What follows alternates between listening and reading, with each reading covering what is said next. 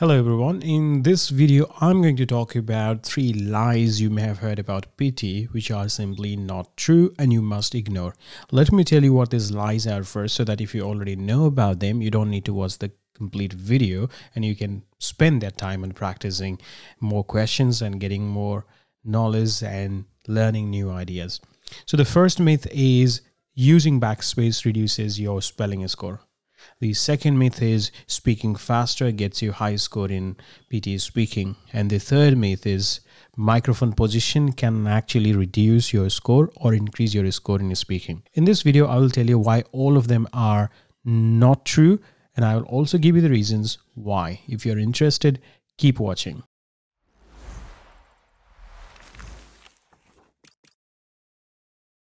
If you're new to this channel, my name is Roman. I'm the founder of Roman PTE. We provide online and face-to-face classes to people in Melbourne, Australia, as well as people all over the world. You can find more information about our courses and services by going to the link mentioned in the description. And let's start by talking about the first myth or the first lie, that is spelling score can drop if you use backspace. This is simply not true. Using backspace or not using backspace has no impact on your score.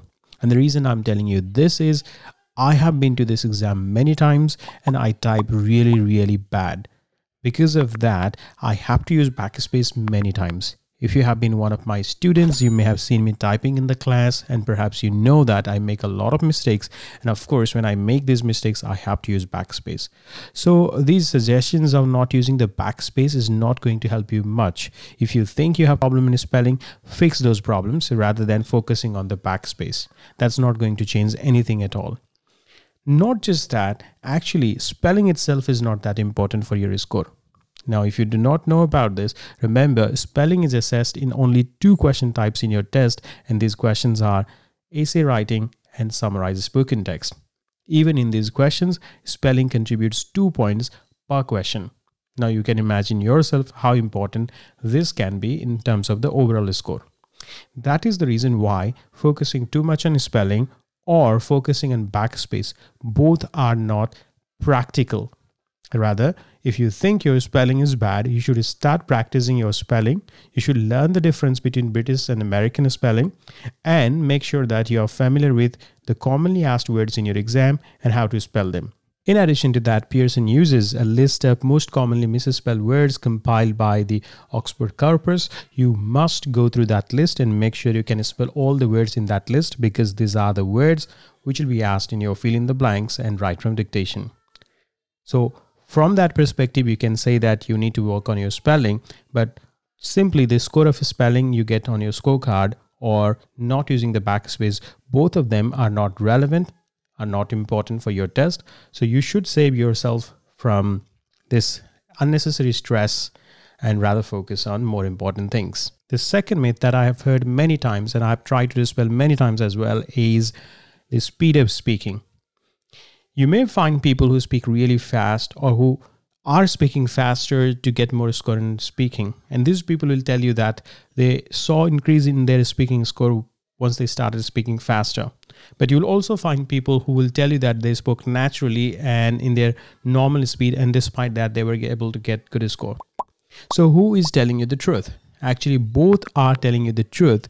And the reason for that is speed has no impact on your score. That is the reason why people who are speaking faster are getting more score and people who are speaking normally or slower are also getting this score. Because the reason we talk about speaking speed is it somehow affects our fluency score.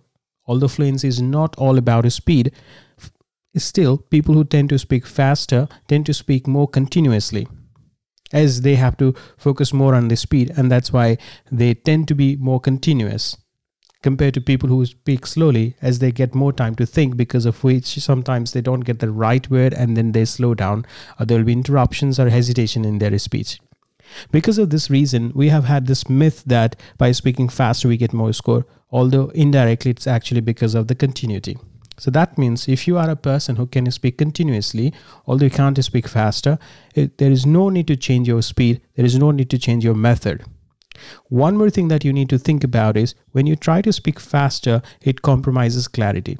Now, I don't need to tell you why, because all of us know that when we try to speak faster, the words become less clear, and because of that, it's difficult to interpret what the person is saying.